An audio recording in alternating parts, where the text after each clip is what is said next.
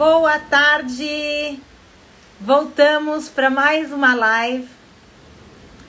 Estou super animada. Boa segunda-feira para todo mundo. Está chovendo. Gente, se essa live não cair, eu vou assim, dar, vou rezar porque vai ser muita sorte, porque quando chove aqui parece que o mundo para. Uh, hoje a gente vai ter uma live muito especial é, com um parceiro nosso, Jeff, que eu acho que ele até já entrou. Ó, que pontual. Vou dar um oi para ele. E tô super animada porque essa semana, como todas, vai estar, tá, vai bombar. Tem muita coisa rolando. A gente vai ter uma nosso TL Talk uh, de quarta-feira agora para o TL Talk Brasil. Uh, vai ser o máximo também. A gente está com um painel incrível, incrível, que eu estou super animada com o Stefan, que é o uh, diretor-geral da Emirates, a Andrea da Oxygen e o Zé, que é o CEO do Panrotas. Então vai ser uma conversa super informativa, bacana, cheia de insights, uh, muito gostosa. Vamos ver se o, se o Jeff consegue entrar. Estou vendo que está tentando. A gente já teve algumas lives onde a conversa não entra. Então, eu estou vendo aqui que ele está tentando, ele aceitou meu convite e nós estamos aguardando. Eu, por enquanto, estou assim, feliz da vida que minha, minha internet está tá tudo certo. Hi, Jeff is unable. Hi, Margie. Nice to see you. I'm going to be speaking Portuguese. Otherwise, you could understand everything. Let's try again. Jeff, vamos tentar mais uma vez. Ou duas, ou três. Vamos ficar tentando. Gente, tá, tá chovendo. E eu tô com internet. Isso aqui é uma vitória. Vocês não imaginam. Oi! Olá! Tudo bom? Tudo bom e você? Tudo ótimo! Olha que lindo! Esse é um cocar atrás de você? É, é, é feito pelos indígenas, mas é de canudo. Para eles não usarem mais plumas. Penas. Muito legal! Muito legal. legal. Né? Nossa, e eu, você vai vir em casa um dia. Eu tenho um cocar gigante, azul, maravilhoso, que eu comprei há uns sei lá, 20 anos atrás, e olha que eu comprei é, do indígena e ele embrulhou assim e me deu uma sacola de lixo, assim, ah, pega essa sacola, senhora, pra você levar. Era uma coisa assim. Uau. Isso hoje em dia não existe. É, eu tenho um também que eu comprei de um pajé do Xingu. E é lindo, gigante também. E... Mas hoje em dia não se pode mais, né? Tem uma legislação e tal. É. é é tudo mas, é, não, mas eu... a arte plumária brasileira é, é das coisas mais lindas que a gente tem, né? É muito bonito. É lindo, é maravilhoso. E eu fiz uma matéria com a Harper's Bazaar uma vez e eles vieram fotografar em casa. Aí ela falou: ai, vamos tirar foto. Vocês têm a documentação? Eu falei: não. Ela falou: não, então não pode tirar foto. Ops. Que isso, né? Super controlado. Bom, mas peraí, antes de nada, eu tenho que te apresentar. Para quem não conhece o Jeff, ele é assim, referência. Você é tudo, né? Você tem coluna, você é jornalista, você é publicitário, você é viajante, você, você faz um pouco de tudo e está conectado com todo mundo. Eu, é, eu acho assim, que... você precisa de alguma coisa no mundo, você, você tem o Jeff, é o one-stop shop, assim, pronto, não precisa mais ninguém. Muito obrigado, fico feliz com essa. Adorei essa definição. É, eu acho que eu sou um pouco múltiplo mesmo, assim, é, é um pouco como eu me vejo, sabe? Fazendo. Nunca consegui entrar numa caixa e ficar só nela, né?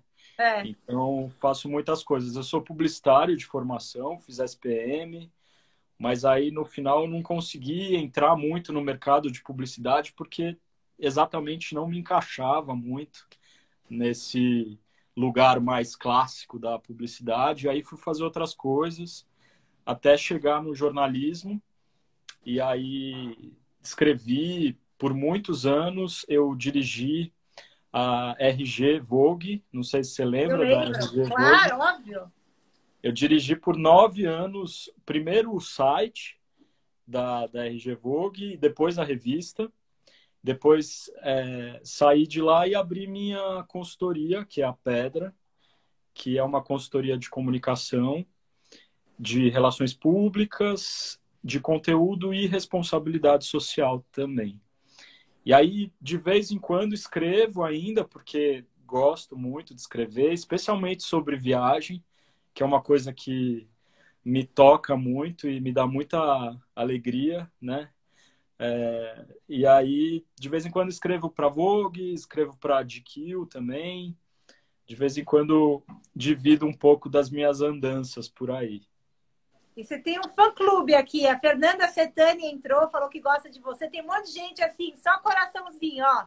Ó, ah. ó o fã-clube dando mil, mandando beijos.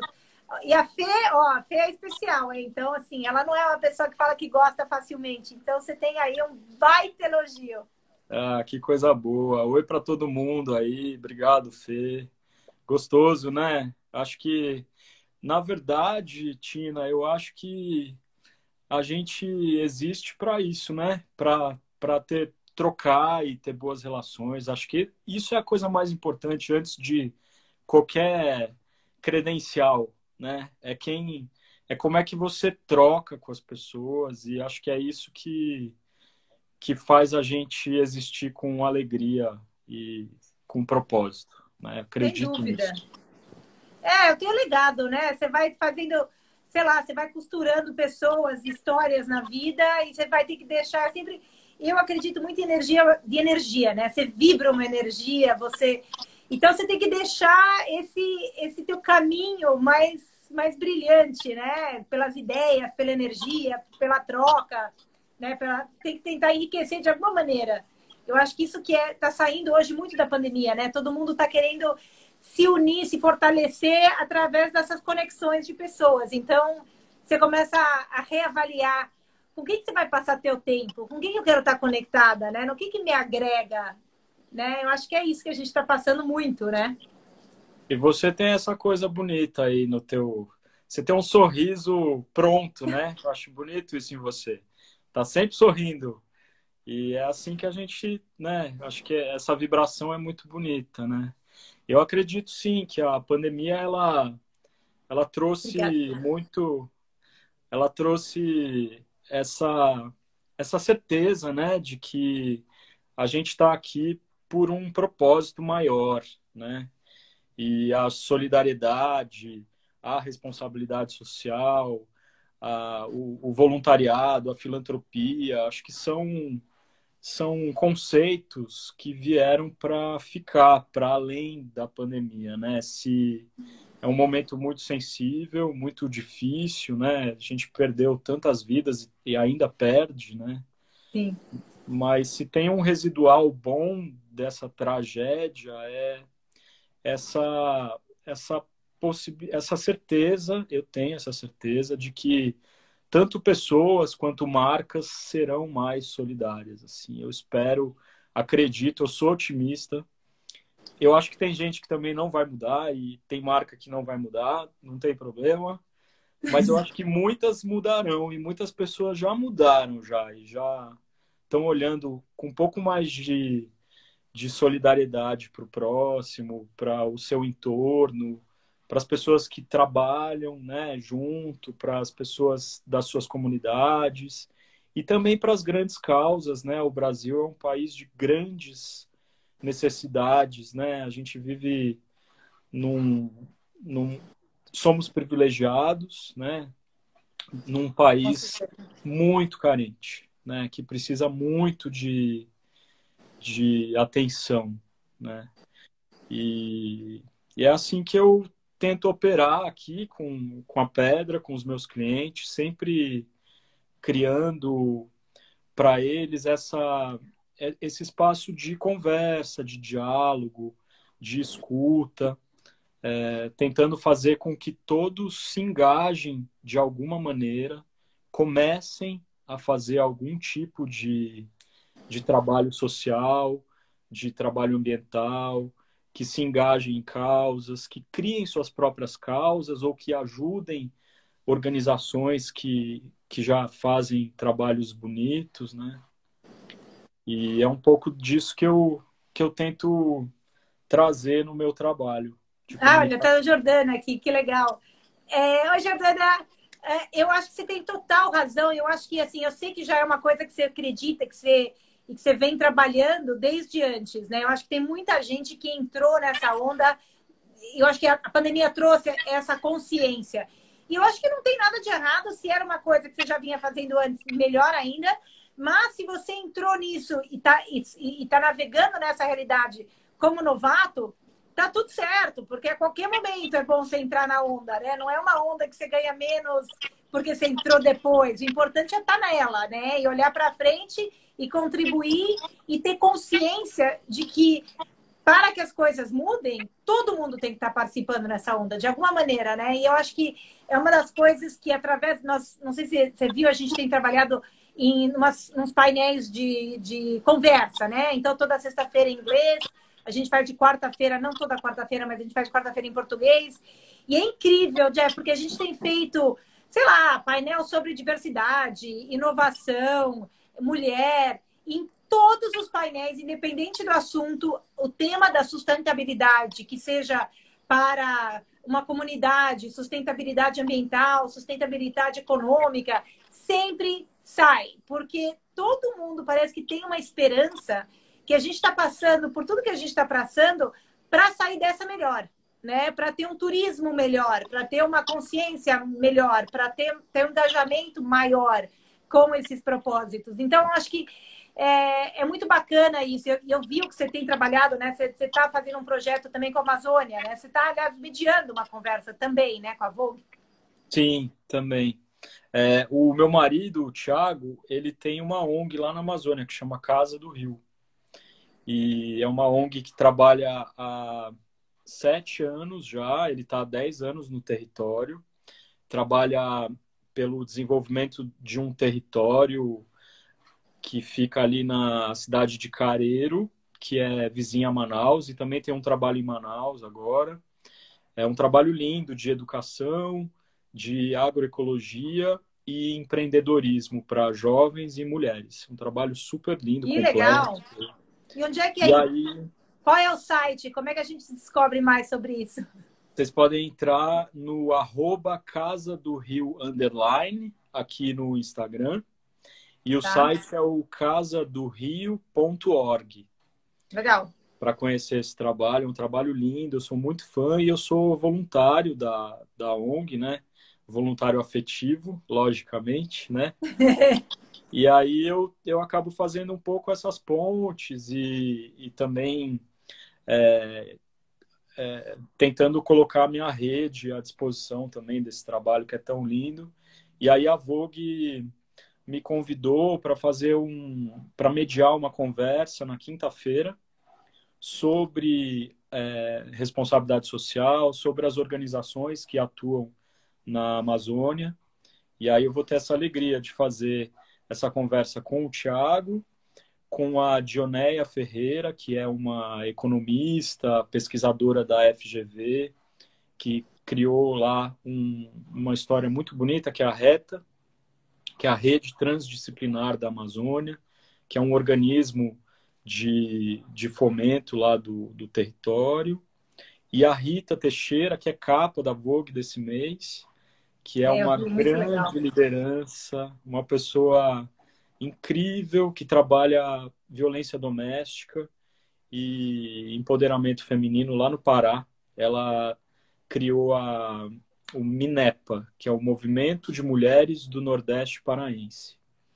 Então, são trabalhos Incrível. lindos, eu vou ter a, essa grande honra de mediar essa conversa com, com essas pessoas que eu amo, assim, que eu sou apaixonado, que eu aprendo muito. Então, convido a todos aí para participarem desse, desse momento. É, tem que convidar mesmo, porque eu, eu tenho lido a respeito, achei incrível. O painel é incrível, o tema é super importante, as pessoas que estão participando e apoiando é muito legal. Então, parabéns, é uma conquista tá, nesse. É muito legal isso. E eu sei que você, você tem uma amizade grande com a Dani, mas mesmo assim é muito bacana, porque não vem só da amizade, é uma coisa que já vem da tua raiz, né? Do teu marido, é uma coisa que você vive isso. É... Você chegou a ver a revista? Não, eu tô em Angra e aqui não chega nada. Eu não tenho. Ah. Eu tenho isso aqui, mas aí eu tô desconectada, mas eu tô louca para ver. Ah, vê sim. Eles me convidaram para fazer a curadoria dos personagens dessa, dessa matéria de capa. E eu fiquei muito, muito honrado, assim, que é o, é o September Issue, né? Claro. Então, é muito legal e fiquei muito feliz, assim. Tem vários personagens incríveis, gente que trabalha lá no território, na ponta mesmo, sabe? Pessoas que muitas pessoas ainda não conhecem e que fazem um trabalho lindo e que defendem a Amazônia que é nossa, né? É de todos nós. Então, claro. É um é tema. Muito... E me fala uma coisa, imagino que você. Quantas vezes você já foi para a Amazônia? É de... Deve ser uma coisa assim de se invejar, né? Quantas é vezes você já minha foi? ponte aérea. Eu brinco que é minha ponte aérea. É, então. E como é que. Muitas vezes já. É, imagina. E me conta um pouco, como é que essas viagens te transformaram? Como é que. Porque imagino que tem um, um Jeff pré-ponte aérea e um Jeff pós-ponte aérea Amazônia. Qual, como é que tem sido esse movimento? Olha, é, eu sou alucinado por pela comida de lá, que eu acho que é uma coisa que te pega de um jeito muito forte, assim, que é espetacular. E mas antes do Thiago, eu nunca tinha nem pensado em ir para a Amazônia, confesso. Nunca tinha pensado sobre essa viagem. E aí, com ele, eu, eu fui para lá. Ele, ele tem uma casa no meio da floresta, que é a casa onde tudo começou. E aí eu fui para lá. Minha primeira ida foi para essa casa, sem luz, sem, assim, completamente é, uma vida sustentável, é, sem luz, sem água, sem nada. O, a água é do rio, a, o teto é um teto ecológico da casa. É tudo assim, viver no meio da floresta mesmo. É o, back, o, o verdadeiro back to basics, né? Totalmente. Não tem sinal de internet, não tem ele, eletricidade, é gerador a óleo e aí você fica um pouquinho com eletricidade à noite e depois acaba. Acaba, que legal. Então é assim, é, é uma imersão na floresta. Então, é. a minha primeira a minha primeira conexão com a Amazônia foi de fato uma, uma, uma imersão lá dentro, assim. E, e, foi muito bonita essa descoberta, assim, desse, dessa Amazônia profunda, né? Eu, eu conheci a Amazônia profunda com ele. E aí, ao longo dos anos, eu comecei a ir e também descobri lugares também. Tem um grande amigo nosso que tem um hotel lá em Anavilhanas, que é o Mirante do Gavião. Não sei se Sim, você conhece. claro, Rui. O Rui, que é uma pessoa espetacular, assim, um grande defensor também da Amazônia. É, ele é um super cara, né? Ele é um é um cara, cara super bacana. Ele conhece meu marido há muitos anos, então conheço ele sim, mas quem conhece bem mesmo já é meu marido. Eles se conhecem, tem aí uma história, mas ele tem uma propriedade incrível também. Linda, e aí é, é um pouco um refúgio, assim, quando a gente quer uma coisa um pouquinho mais gostosa e confortável e luxuosa, a gente vai para lá. Que é um é. lodge, mas é um lodge de muito bom gosto, né? Sim. Super bom gosto. A comida maravilhosa da Débora Schornick, que é uma chefe incrível de Manaus, ela é de São Paulo, mas trabalha em Manaus. Ela tem um restaurante lá, que é o Caxiri, que é um restaurante incrível também. Então tem, tem umas descobertas de Manaus, é. de Novo Airão, que, que eu fui catalogando e trazendo. E aí, quando eu vou para lá, tem esses dois momentos gostosos de ter uma imersão na floresta, mas também tem coisinhas mais gostosas, assim, para fazer. Ah, e tem, né? Eu acho que a cultura. Eu, eu passei uma vez no Réveillon, depois que me divorciei, eu falei, bom, vou sair com minhas amigas, me desconectar do mundo, né? Eu fiz uma viagem com um grupo de amigas para Alter do Chão. E assim, é um lugar de verdade, é mágico, né? É mágico, mágico. É, você tá no meio do nada, dormindo, a gente dormiu em rede, né? Uma, num vilarejo, não esquece internet, né? Não tem nem cama, nem colchão. E era realmente assim, você tem o, o, pré e o pós. E assim, não, não é uma ponte aérea para mim, foi um luxo, né? Uma viagem que eu lembro assim, uh, que, sei lá, é, é maravilhoso. Mas, sem dúvida, tem uma coisa mística. Eu lembro, assim, sabe, que tem mil histórias do Boto, de mil coisas, que é, não é só uma história, é verdade, né? Você, é, aquilo acontece, aquilo é, é muito bacana, eu acho que é mágico, né? E essa conexão com uma realidade paralela, né? Tipo uma coisa mais mística, é muito muito especial, porque a gente na cidade, no nosso dia a dia, né, que a gente nunca tem espaço para isso, né? É uma coisa que é muito mais branco e preto, é dura na realidade, é dinheiro, é corre corre, é fazer, é produtivo, você tem que ser mais eficiente, né? Que você meio que vai se desconectando dessa vida mais não sei nem qual é a palavra, mas quando você vai para lá, parece que você viaja no tempo, não é? Não tem um negócio assim? E tem um outro tempo também. Eu acho que a Amazônia tem um tempo próprio, né? Que é o tempo da floresta. Quando eu vou para dentro da floresta, é, é, muito bonito como o teu corpo ele começa a se acostumar com o tempo do sol, né? Então claro. você acorda com o raiar do sol, você vai dormir muito mais cedo, você começa a experimentar no teu corpo um pouco dessas nossas relações mais primitivas, né? Eu, eu sempre digo que tem uma coisa bonita que com o passar dos dias, os teus olhos eles vão se acostumando com as matizes, os tons dos verdes. Quando você chega é tudo um verde só. Mas aí aos poucos os verdes vão aparecendo as nuances, né? Os, os barulhos, barulhos. É. né? Você vai ouvindo, identificando é uma coisa muito linda, assim, é, e, e, e, é quem somos, né?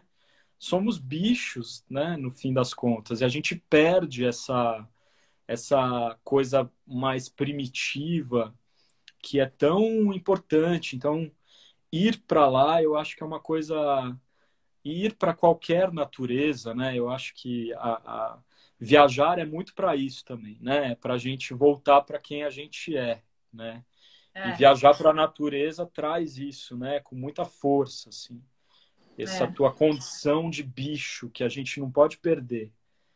Não, e, e assim, eu digo que tem, eu sempre estou falando em inglês, a gente chama do silver lining, né? Todo o positivo que existe dentro do caos, né? Desse, do, da dificuldade que a gente está vivendo, sempre tem um lado bonito, né? Então, assim, eu imagino a realidade, a possibilidade de eu morar com aqui, né, na natureza, embutida no verde, que talvez eu tenha, eu não tenha internet. Quando, quando chove e a internet vai embora, meu, eu tô no meio do nada, não tem telefone, entendeu? Pessoal, como é que eu aviso que. Aí ficar pensando, se chover e cair isso aqui, eu não tenho como te avisar que eu tô, eu tô desapareci, sabe? Isso, na verdade, dá aquele pânico, mas depois tem um lugarzinho que você fala, nossa, que delícia, tô sozinha, né? Não tô acessível, tô. E é, é muito gostoso. Eu fiz uma viagem, um dia eu vou te contar a história, mas eu fiz uma viagem quando eu me formei de hotelaria na Suíça. Minha melhor amiga e eu fomos para a Ásia e eu fui morar com sete tribos no Sudeste Asiático. E, e, é incrível, assim, eu, conhe... eu ia conhecendo as tribos me, me enfiando ali. E eu conheci um rapaz que ele tinha, não sei direito o que ele fez na tribo, de castigo. Isso foi na Indonésia. Eles mandaram ele para fora da ilha. Então ele estava meio perdido em Sumatra. E aí ele falou: Meu, vou voltar para minha tribo. E eu, é, Barraça, que é a língua da Indonésia, é muito fácil, ela não tem muita conjugação. Então eu já estava lá um tempo, eu já conseguia me comunicar. Bom, voltei para a ilha com ele, né? Ele, minha amiga, um grupo de amigos. E eu vou te... é uma longa história, porque a gente ficou meses morando com tribos, mas o que era mais engraçado é que, assim, para chegar na casinha dele, que era, né, tinha os porquinhos embaixo, era uma caminhada de 12 horas dentro da floresta, depois de pegar um barco de dois dias para chegar na ilha tal. Aí tinha o rio e tinha um tronco para cruzar o rio. E ele, né, a gente ia lá seguindo ele, chegou no tronco e ele, tum, tum, tum, tum, cruzou o rio. E a gente ficou desse lado, tipo, não dá. Aí ele olhava pra gente, olhava para o nosso pé e falava, vem. Aí a gente falava, é que com o tronco a gente não, a gente tentava se pendurar e não conseguia. E ele olhava pra gente e ele falou, mas como que você não funciona? Tipo, como que você tem pé, mão e não sabe andar? Olha que loucura. Olha e assim, só. não tinha como a gente cruzar o rio. Então, assim, foi complicadíssimo, porque é uma coisa tão primativa nossa de equilíbrio, né? De que a gente perdeu isso. Mesmo quando a gente finalmente chegou na casinha dele, né? Que era uma casinha levada, porque os bichos ficam embaixo. De novo, tinha um tronco para subir e ele só punha uns degrauzinhos. não dava para subir. A gente ficava aqui nem criança, assim, eles tinham que puxar a gente para cima. que legal. Entendeu? Incrível, incrível. Incrível. Você fala, gente, o que, que eu aprendi, o que, que eu esqueci? É, é verdade. É muito lindo. A Ásia é outro lugar espetacular, né? Que também acho que traz um traz essa coisa da ancestralidade, né? De, de quem somos como humanidade, assim, de um jeito muito muito forte, né? Eu eu sou enlouquecido pela Ásia, assim, adoro ir para lá. É, é, o lugar que que eu, que eu mais gosto de ir é para lá, porque acho que é, dá também. um inverte tudo, né? Assim, dá um dá uma mexida no, nos nossos sentidos, né? Porque é tão distante do do que a gente é, né? Ao mesmo tempo tem tantas coisas parecidas, né? Tem um afeto, né? Um povo afetivo, né? É, eles são calorosos, afeto, né? É. Eles são que é diferente, por exemplo, a Europa já é mais fria, né? As pessoas, não toda a Europa, mas e, de repente você chega na Ásia e eles têm um lado muito mais é, carismático, né? Caloroso, sei lá, muito parecido. Mas é maravilhoso. Hoje mesmo eu almocei, olha como é que é o gostinho da Ásia, né? O meu marido ele adora é, comida, culinária e tal. Então a gente tem aqui uma árvore de papaya, de melão, e tá verde. Então a gente fez hoje blue, aquele green papaya salad da Tailândia. Então ele trouxe o chili, o fish sauce, todos os ingredientes da, da Tailândia, mas a papaya é da árvore aqui que tá verde. E o pessoal da casa falava, mas tá verde, não dá para comer isso. A gente falou, não, dá, dá. E ficou maravilhoso. Ficou assim, comi hoje isso. Você ia ter adorado. Um dia vir almoçar aqui, né? Ah, com certeza, com o maior prazer. Que delícia, né?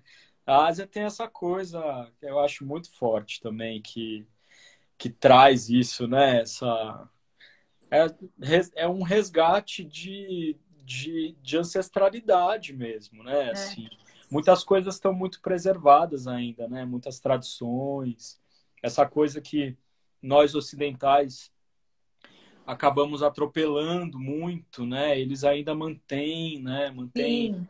Tem lugares Respeito, ainda muito fechados, respeito. né? Mianmar, eu fui para Mianmar e fiquei tão chocado, assim, como é tudo ainda tão mais preservado, né? Eu fiz uma. O Thiago, ele, ele, ele errou e aí a gente caiu num lugar que não era o lugar para cair e aí não tinha um voo para ir. A gente tinha que ir para para Siem Reap. Na Camboja. Ah, é, Camboja, é. Então, foi lá. Aí a gente caiu no lugar errado. E aí a gente tinha que pegar um voo para só que tinha que ser só no dia seguinte. E aí a outra possibilidade era ir de carro. É.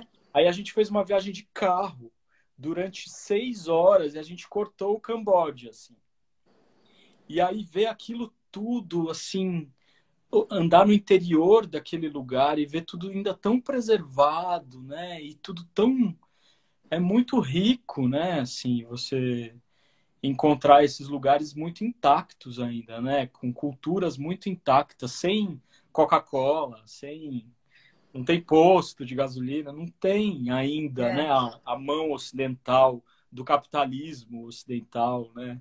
Quando que você foi para lá? Eu fiquei lá, eu fiquei no Camboja mais de um mês. Eles têm uma, uma pela eles têm uma cultura muito forte, né? É, pelo uh, Khmer Rouge, tudo que aconteceu lá, eles têm uma é... história. É, é um povo assim com sangue no olho. O pessoal é, ah, mas é incrível. É, passaram é uma... por uma coisa muito difícil, né? Assim, é. Muito complicado que eles passaram e, e resilientes, né? Você, você vê a, a, a força, né? Mesmo com eu lembro que assim, todo mundo que mais ou menos você conversa passou ou tem parentes que morreram por conta do regime, né? Ou é. sofreu alguma coisa num, num, numa é, com, com alguém muito próximo da família, né? Então, mas mesmo assim, gente muito resiliente e, e com força de vida, né? É, é, não, é, é, é lindo, é um lugar maravilhoso. E o que é muito gostoso, porque eu fiquei muito tempo na Ásia, você pega livros, todos, todos, você tem uns livros ótimos históricos, né? Baseado na Então, sobre o Khmer Rouge, enquanto eu passava pela, pela, pelo Camboja, você lê, depois sobre a guerra, você vai passando pelo Vietnã, você vai pegando esses livros e você vai vivendo a história, conhecendo as pessoas, indo para os lugares. Meu, é tipo entrar numa viagem, num filme, num... é muito gostoso isso. É uma.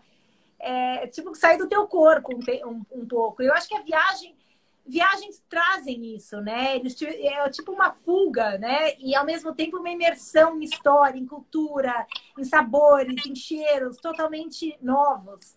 Então, assim, é, eu acho que faz parte, é, é uma necessidade humana de querer conhecer o outro lado, conhecer o outro, né? Eu acho que, nossa, dá uma saudades para quem gosta. E é um investimento em você, né? Porque no final das contas, eu acho que é um jeito de você tem que viajar para olhar para dentro, né? Assim, eu acho que cada vez mais viajar é, é, é, é para dentro, não é para fora, né? E, é. e, e, abrir os olhos para isso tudo, né? Assim, e um pouco na minha seara da responsabilidade social, ambiental e tal, eu acho interessante como o, a, o turismo, especialmente o turismo de luxo, a hotelaria, já olha para essas questões né, há alguns anos, bons hum. anos, e tem antecipado esse movimento da indústria de luxo para causar impactos positivos e reais nos seus entornos. Né? É, tem muitas iniciativas incríveis de, de hotéis que, que acabam cuidando mesmo né, dos seus entornos, porque especialmente esses que estão na Ásia ou em lugares é, que são lindos paraísos, mas é, países com problemas sociais muito profundos, né? Eu acho que eles têm essa consciência cada vez mais acordada claro. da necessidade de, de, de fazer a diferença, né? E de, e de trazer isso para o turista também, de propor isso para o turista, né? Você também pode nos ajudar a ajudar aqui esse esse, essa comunidade, né, esse entorno. Não é mais é. É, não usar o lençol ou a toalha de novo. Não é mais sobre isso, né? É sobre causar impactos verdadeiros, né? É, isso... A gente tem uma organização que eu tenho até uma ligação com eles na, na, na quinta-feira, que a gente está querendo trazer eles para o Talk, e que é muito interessante que eles falam sobre a viagem transformadora. E é uma organização que é relativamente simples, né? Eles têm os hotéis que entram para ser membros dessa organização e eles fazem uma doação de 10 dólares por estadia para uma causa. Então, você sendo parte da organização, você vai doar 10 dólares por estadia e você vai escolher, o, o hóspede pode escolher a causa. Então, eu vou ir para o Camboja, então eu posso doar para mulheres, crianças, tal, não sei o quê. Só que quando você pensa que se você toda a estadia fizer uma pequena doação, porque 10 dólares na Ásia, meu, você alimenta uma batelada de criança, entendeu? Você melhora. Tem mil coisas que você consegue. Então, é uma coisa tão simples. E no final do dia, de uma viagem, numa estadia que custa muito mais, 10 dólares você não. Né? Quando você vai viajar, você 10 dólares a cada não vai fazer uma grande diferença. Mas quando você olha para isso como, como um movimento coletivo, né? O impacto que eles estão tendo é tão maravilhoso, é tão significativo, uh, e eu acho que assim é, faz com que seja tão simples para os hotéis e os, os provedores conseguirem participar disso, porque às vezes fala, meu, eu quero fazer, mas putz, eu tenho que achar, né? Como é que eu vou para qual que é a instituição? Como é que eu vou dividir o dinheiro? Como é que eu vou... Só que já está feito, então acho que tem hoje em dia mais que nunca muita, muita gente se mobilizando para facilitar isso, né? para deixar cada vez mais mais fácil eu poder participar, ajudar, apoiar, tudo, todas essas coisas. E eu acho que, sem dúvida, a pandemia deu uma acordada nesse tema, né? E eles atuam aqui no Brasil também? Então, é isso que eu estou fazendo essa ligação é, na quinta-feira que eu quero falar. Eles têm a, presença maior deles é na Ásia e na Europa e nos Estados Unidos. Mas eu acho que tem um potencial enorme para trazer, trazer eles para o Brasil, porque é só ferramenta, né? Daí você escolhe quais são todas as as instituições e você cria um modelo muito mais simples. Fala, olha, todo mundo que vier, que ficar aqui neste hotel X, você escolhe, comprou, escolhe qual instituição e vai, enfim, 10 dólares para essa. Então, uma vez que fica fácil, é, todo mundo se sente bem, porque você quer ter orgulho de viajar, né? Você quer ter orgulho de estar tá ficando no hotel que você está ficando, é, indo comer no restaurante que você está indo comer, porque ele também apoia a comunidade, ele também tem um, uma responsabilidade social, é, cultural, né? Então, assim, é legal essa cadeia, né? Sem dúvida. Uh, eu acho que as pessoas elas, elas querem admirar as marcas, né? Marcas são pessoas, né? No final do dia. E as pessoas querem admirar as marcas, né? Querem, querem querer consumi-las com, com essa vontade de, de causar impactos, né? Uh, eu acho que essa iniciativa é, é fundamental, assim, e, e, e muito fácil de acontecer. É quase como arredondar, né? Você arredonda ali tua conta no final da estadia e faz um impacto para uma organização. Mas eu acho que é, é sempre também importante que os hotéis, o, eles olhem para o entorno e entendam que eles têm que fazer um impacto na comunidade, né? E, e trazer para o organograma dele pessoas da comunidade, acho que isso é importante também. Tem várias coisas que um hotel pode fazer, né? É, olhar para o meio ambiente, tentar causar um impacto desde o início né, da construção, mas se não for possível, pelo menos olhar para aquele ambiente, entender o que, que ele pode, como é que ele pode regenerar, como é que ele pode é, conseguir manter o que ainda é vivo, né, vivo e, e causar é, o menor mas... impacto possível. E no final do dia, sem aquilo, o hotel não, vai, não tem por que existir, né? É muito simples, ah. quer dizer, não é, não é que você está fazendo uma coisa de caridade. Na verdade, é que se não tiver o entorno, você também não vai estar, né? Não tem essa ah. de que. Eu acho que essa, essa, essa consciência está muito mais presente hoje. Eu acho que com essa consciência também tem a, a consciência de que não é tudo profit, né? Não é tudo dinheiro. Ah, quanto mais eu consigo tirar para mim. É que um percentual disso tem que voltar. Senão não, você vai sugar, sugar, sugar, até que uma hora o negócio não né? E isso é uma das coisas. A gente teve um, um CEO, uh, ah, ele chama Eric Resnick, ele é o CEO da KSL, que é uma das maiores investidoras de hotéis. Eles são donos de alguns amãs e tal, hotéis pelo mundo inteiro. Então, ele veio no nosso painel e é uma conversa interessante, né? O financiamento, né? Será que o cara que está financiando, financia... tem desejo pelo lado consciente e ambiental? Porque aquilo lá custa, não é que vai te trazer um retorno maior, né? Será que tem um relacionamento entre o dinheiro e a consciência, como é que funciona isso na matemática, né? E ele falou uma coisa muito, muito interessante. Ele falou: isso só funciona na matemática se você está lá a longo prazo. Se eu estiver fazendo investimento a curto prazo, não, né? Só que as boas empresas que você, que você falou, a gente quer gostar da empresa, que a gente quer ter um relacionamento com ela, são empresas a longo prazo, né? Que estão fazendo, querendo estar tá lá. Se, se essa é a tua visão, então, meio ambiente tem que estar próximo a você. Né? Você não tem opção. Não é assim, eu sou bacanão, eu vou, vou, vou apoiar a comunidade. Não. Senão, você não, amanhã você não está lá, né? É uma construção de, de relacionamento de vida mesmo, né? Assim, a longo prazo, é. né? Você ajudar uma comunidade num hotel, você vai querer um dia voltar para aquele hotel e ver como é que as coisas estão, né?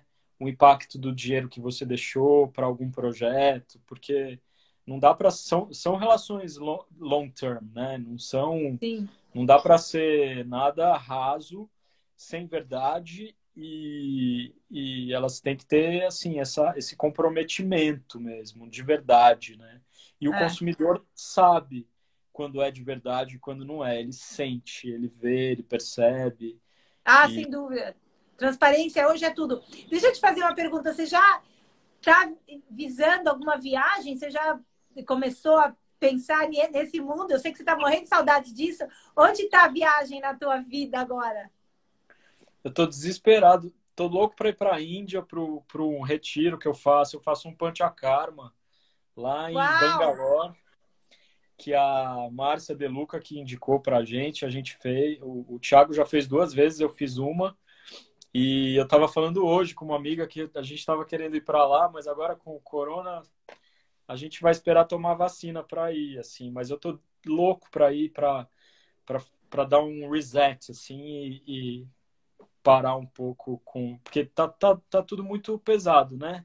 Muito difícil, muito sofrido para todo mundo, né? Então, a minha próxima viagem eu acho que vai ser esse mergulho para dentro mesmo, assim, fazer um retiro e, e aí, quem sabe, ir para as Maldivas, porque fica do lado.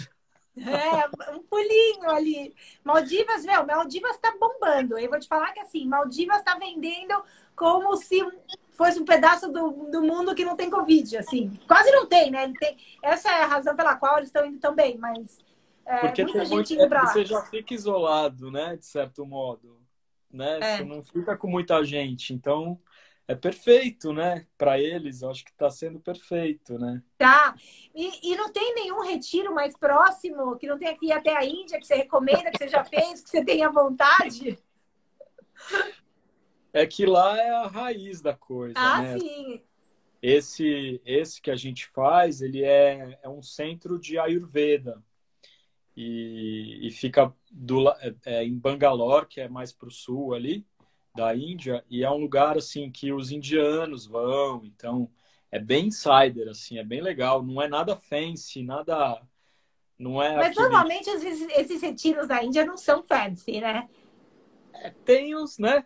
Lá em Rishikesh é. tem uns Tem, tem, tem, no Anantá, tem, tem alguns é... lá, mas, mas a grande, eu digo, a grande maioria dos sérios, a Índia é less less is more, mas é que é less, less, less mesmo, né?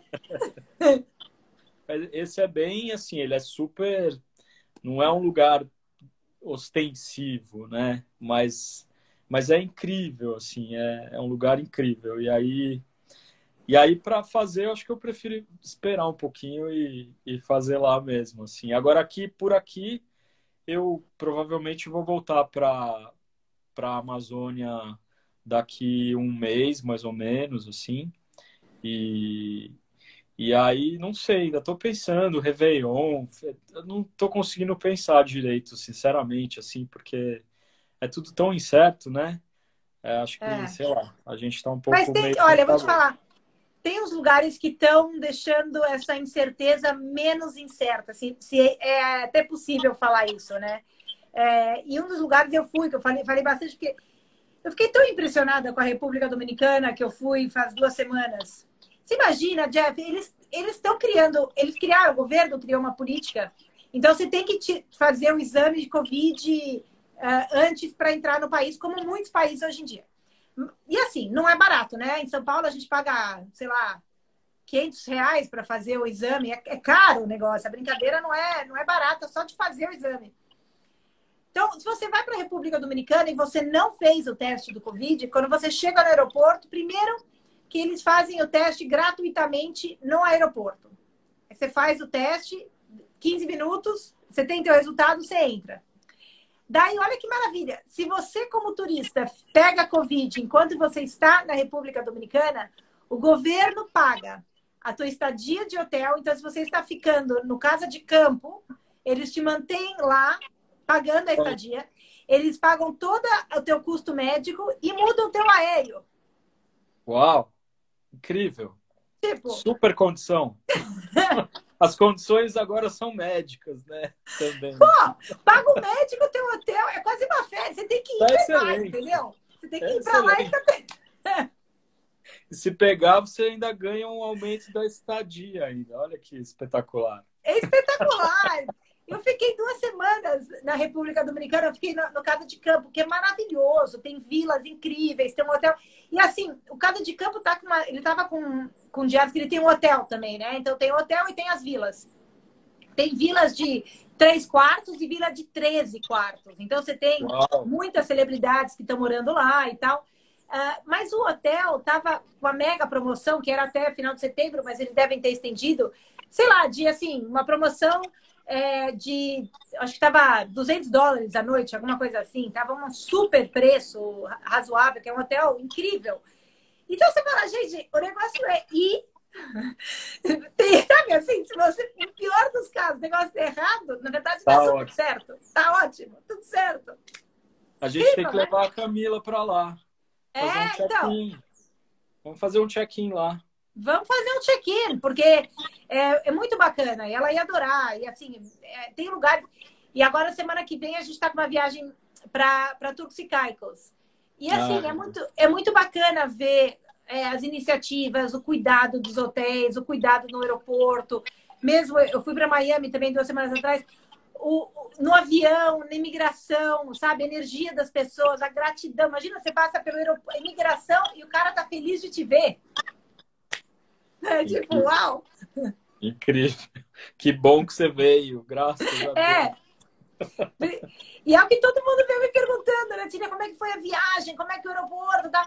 Eu falei para ele, falei, gente, eu acho que é o mais próximo a uma viagem, assim, celebridade com avião particular, porque não tinha quase ninguém no meu voo.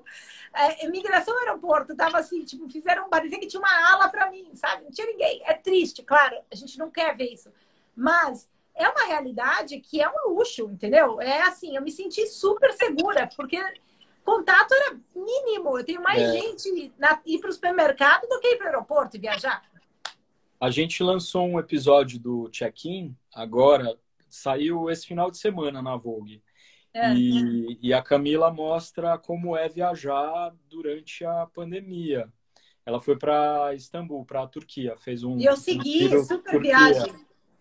E aí ela mostra um pouco disso, assim, como é que como é que estão os protocolos e os aeroportos e, e você percebe que tem essa coisa mesmo, assim, é, é, tem muito menos gente viajando, então, portanto, as coisas estão um pouco mais. É, é, as coisas estão seguras, né? Porque tem muito protocolo.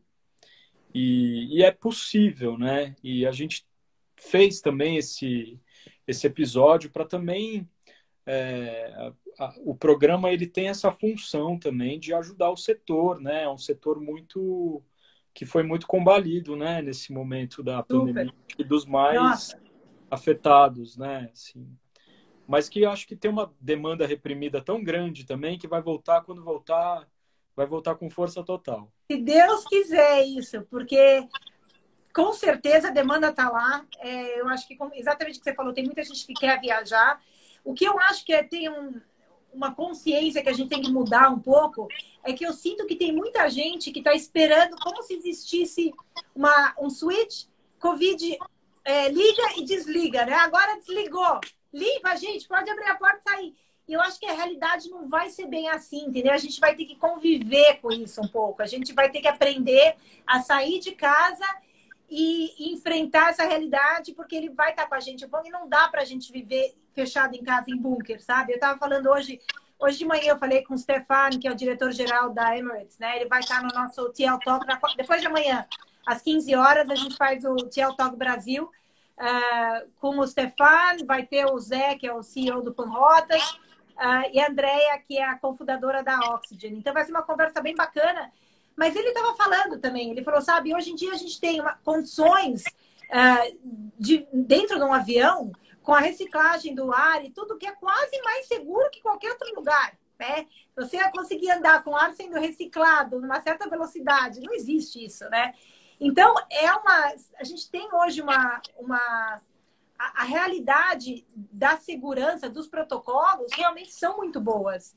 E a, e a possibilidade da gente esperar até que eles desliguem o Covid, assim, clique, não é bem essa a realidade. A gente vai. E eu sinto que ficar em casa, quanto mais eu ficava em casa antes de eu começar a viajar novamente, eu brinco que parece que o monstro vai crescendo, né? Você não sai de casa e parece que o cara lá, o monstro vai crescendo. Vai... Então vai dando mais medo de sair. E aí, finalmente, quando você toma coragem, você abre a porta e você enfrenta esse monstro, ele vai ficando menor e menor e menor, e de repente você fala, gente, eu, consigo lidar com isso, sabe? Tem que ser inteligente, consciente, pôr máscara, não sei o quê, tomar cuidado.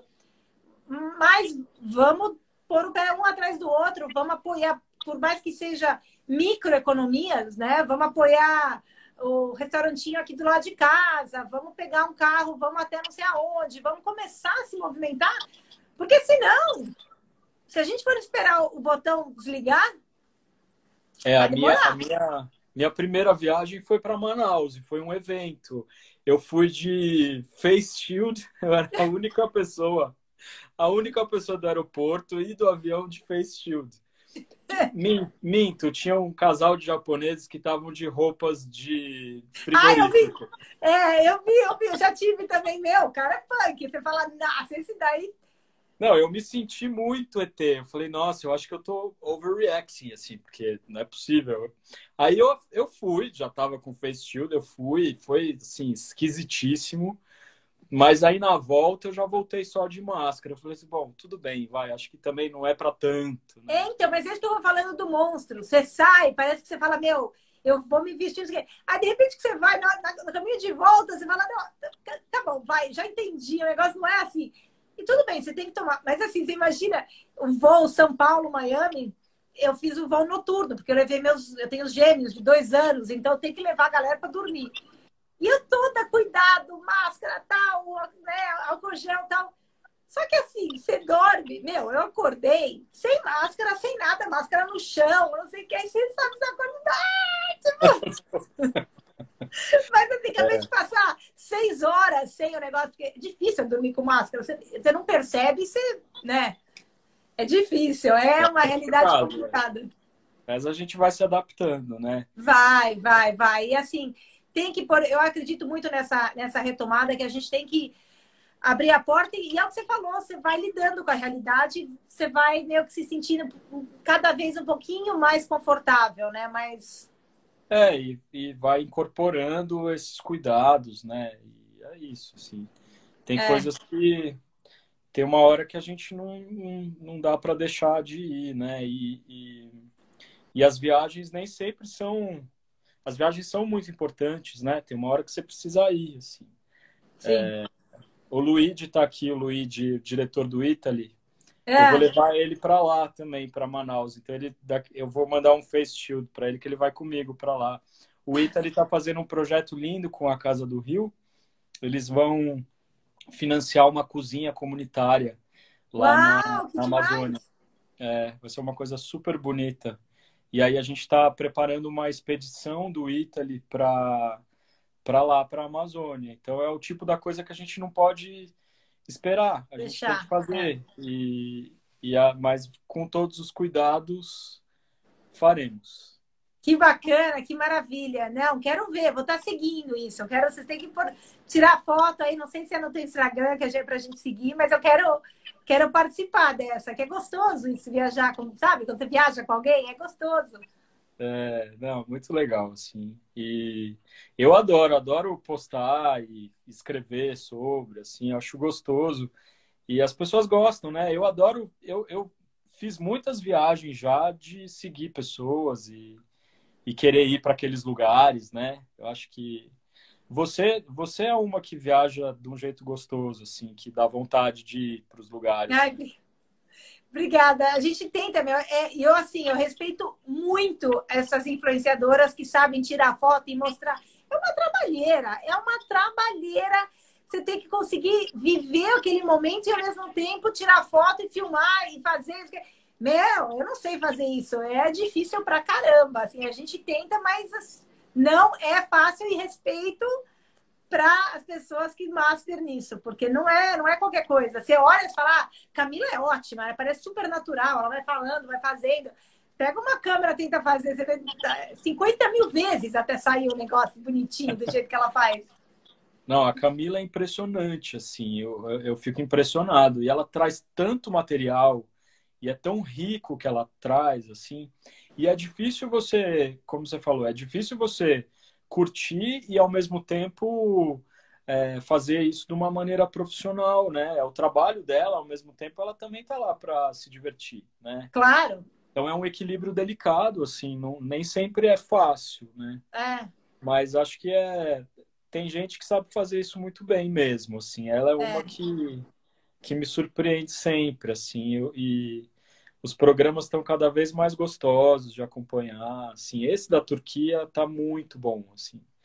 Tá lindo e, e ela é incrível, assim. A gente é. tem que fazer mais coisas com vocês. Não, vamos, vamos, vamos fazer. A gente tem, eu não sabia que ela tava, a gente tem um cliente, eu sei que ela foi para Capadócia, a gente tem um cliente lindo lá, um hotel maravilhoso.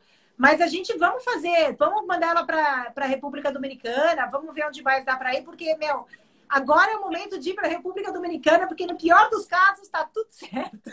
Não, ela vai adorar. Já pode ir amanhã. É, então, vamos, vamos programar sim, com certeza. Jeff, eu sempre tenho medo desse negócio de cortar a gente. Eu fico embalo num papo aqui que eu esqueço que eles cortam. Mas assim, você tá na... a gente precisa sentar e tomar um café juntos quando eu estiver em São Paulo, algum momento para pôr o papo em dia, porque a conversa sempre é boa. Eu aprecio muito, sou fã de tudo que vocês fazem. Então a gente, se Deus quiser, o próximo vai ser ao vivo. Que bom, com o maior prazer do mundo. Obrigado pelo convite, muito honrado de poder falar com você nesse espaço que é tão gostoso, passa tanta gente interessante. Acho bonita a curadoria que vocês fazem com gente de vários lugares, de várias áreas, né? E acho que tudo isso enriquece essa conversa de vocês sobre turismo, né? Turismo é, é não é só não é só ir lá e viajar, não, né? Não. É, envolve muitos aspectos da vida da gente, né? Gastronomia, envolve espiritualidade, envolve mindfulness, né? Acho que viajar é um é um microcosmo, é um, é um planeta, né? Tem muita é coisa linda é verdade. que envolve isso. E e muito obrigado, fico muito envaidecido pelo convite e também adoro adoro essa conversa, adorei. Obrigada, Jeff. Eu acho que eu tenho que agradecer a Paty, ela da nossa equipe que faz toda essa curadoria. Eu tenho que fazer junto, mas ela domina. A Paty é, é, é, animal, assim, ela é muito boa e eu tenho muita sorte de ter uma equipe tão, tão incrível. E Jordana, meu, precisamos pôr o papo em dia. Ela está aqui com a gente, eu não falo com a Jordana há um tempão. Oi, Jordana! E aí? É... Anguila? Ela tá em Anguila? Sei lá, normalmente ela estava em 100 bordes. Agora não sei. Onde é que você está? Aqui, nos nossos últimos minutos, Jordana, escreve aí. É embaixadora de Anguila. Ela é. Ela é... Nem sei onde ela está. Faz tempo que a gente não se fala, mas eu vou dar um alô ali para ela. Mas, Jeff, um super beijo. Obrigada pelo seu tempo, por compartilhar. Eu vou estar grudada aí na tua telinha, seguindo a tua viagem e participando do teu bate-papo. Muito obrigado. Obrigado, Paty, também, querida, pelo convite. Desculpa o signal que eu dei, porque eu estava indo lá para a floresta e fiquei um pouco sem poder marcar. É, e lá não tem internet direito. Eu Mas conheço. Mas que deu certo. Fico feliz. Que bom. Então tá bom. Vamos se falando e, se Deus quiser, o próximo em, ao vivo. Feito. Fechado. Um beijo. Um beijo. tchau. tchau. tchau. tchau.